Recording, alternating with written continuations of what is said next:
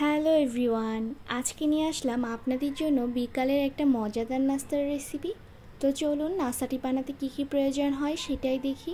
প্রথমে আমি দুই কাপ আটা নিয়ে নিয়েছি, তারপর হাফ চামচ পরিমাণ লবণ আর তেল দিয়ে পানি দিয়ে আটাটাকে আমি ভালোভাবে মাখিয়ে নিব। এদিকে আমি আলু সিদ্ধ দিয়ে দিয়েছিলাম সেই আলুটা সিদ্ধ করে আমি ম্যাশ করে নিয়েছি।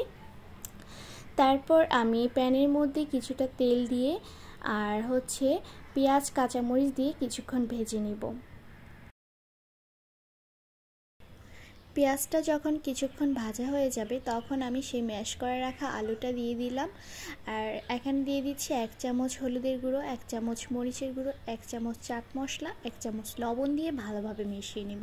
এখানে আর কিচ্ছু দিতে হবে না। জাস্ট হলুদের গুঁড়া, মরিচের গুঁড়া, চাট মশলা, লবণ দিয়ে ভেজে নিলেই হবে।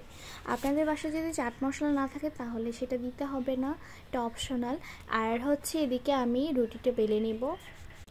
রুটিটাকে একটু বড় করে বেলতে হবে। আর রুটিটা যখন বেলা হয়ে যাবে, আমি চারপাশ থেকে হচ্ছে ছুরি দিয়ে এভাবে চার কোনা করে কেটে নেব। আবারও আমি সেই আবার মাঝখান থেকে একটু কেটে নিচ্ছি। আপনারা আমার হাতের দিকে লক্ষ্য রাখলে বুঝতে পারবেন আমি আসলে কীভাবে কাটলাম। তারপর আমি আলুর কিছুটা পুর দিয়ে আমি যেই পাশটা কেটেছি রুটির, সেই পাশটা আমি উপর দিয়ে দিয়ে চারও পাশটা ভালোভাবে আটকে নিব। আর বাকি যে দুই পাশ ছিল, সেই দুই পাশ আমি ছুরি দিয়ে এভাবে লম্বা লম্বা করে কেটে নিয়েছি, যাতে ডিজাইনটা অনেক সুন্দর হয়। তারপর আমি ডান পাশ থেকে একটা, বাম পাশ থেকে একটা এভাবে করে রুটিটাকে নিয়ে ভালোভাবে একটা ডিজাইনের শেপ দিলাম। দেখুন যে ডিজাইনটা কতটা সুন্দর হয়েছে। পাশ থেকে কিছুটা বের হয়েছিল, সেটা আমি ছুরি দিয়ে কেটে নিলাম। আর আপনাদেরকে বোঝানোর সুবিধার্থে আমি আরও একটি ডিজাইন করে দেখাচ্ছি। তো আলুর পোরটা দিয়ে আমি সেই রুটিটাকে এক পাশ থেকে এনে আবারও ভালোভাবে চারোপাশটা আটকে নিব। আর ছুরি দিয়ে আমি লম্বা লম্বা করে কেটে নিব। আর ডান পাশ থেকে বাম পাশ থেকে আবারও সেই একটা একটা করে ডিজাইনের শেপটা দিব। এই ডিজাইনটা কিন্তু খুবই সুন্দর আর খুবই সহজ একটা ডিজাইন, যেটা আপনারা খুব সহজেই তৈরি করতে পারবেন। পারবেন। এখন আমার সবগুলো নাস্তার ডিজাইন তৈরি হয়ে গিয়েছে। দুই মাত্র দুই কাপ আটা দিয়ে আমার চারটা নাস্তা তৈরি হয়ে গেল। আর একটা নাস্তা খেলেই কিন্তু একটা মানুষের প্যাট ভরে যাবে।